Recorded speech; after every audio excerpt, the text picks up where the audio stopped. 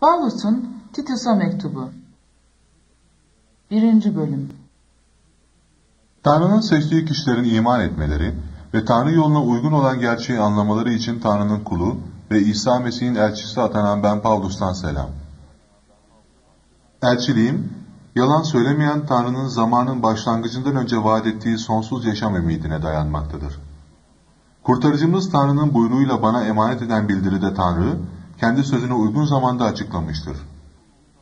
Ortak imanımıza göre öz oğlum olan Titus'a, Baba Tanrı'dan ve kurtarıcımız Mesih İsa'dan lütuf ve esenlik olsun. Titus'un Girit'teki görevi Geriye kalan işleri düzene sokman ve sana buyurduğum gibi her kentte ihtiyarlar ataman için seni Girit'te bıraktım. İhtiyar seçilecek kişi, eleştirilecek yönü olmayan, tek karalı biri olsun. Çocukları imanlı olmalı. Sefaatle suçlanan ya da asi çocuklar olmamalı. Gözetmen, Tanrı evinin kahyası olduğuna göre eleştirilecek yönü olmamalı. Dik başlı, tez öfkelenen, şarap düşkünü, zorba, haksız kazanç peşinde koşan biri olmamalı. Dersine, konuksever, iyiliksever, sağduyulu, adil, hak ve kendini denetleyebilen biri olmalı. Hem başkalarını sağlam öğretiyle yüreklendirmek hem de karşı çıkanları ikna edebilmek için imanlara öğretilen güvenilir söze sımsıkı sarılmalıdır. Çünkü asi, boş boğaz, aldatıcı birçok kişi vardır. Özellikle sünnet yanlıları bunlardandır. Onların ağzını kapamak gerek.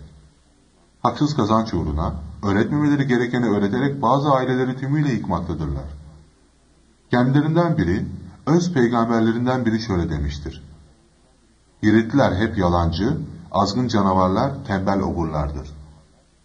Bu tanıklık doğrudur. Bu nedenle Yahudi efsanelerine ve gerçek yoldan sapan kişilerin buyruklarına kulak vermemeleri, sağlam imana sahip olmaları için onları sert bir şekilde uyar. Yüreği temiz olanlar için her şey temizdir. Ama yüreği kirli olanlar ve imansızlar için hiçbir şey temiz değildir. Çünkü onların hem zihinleri hem de vicdanları kirlenmiştir.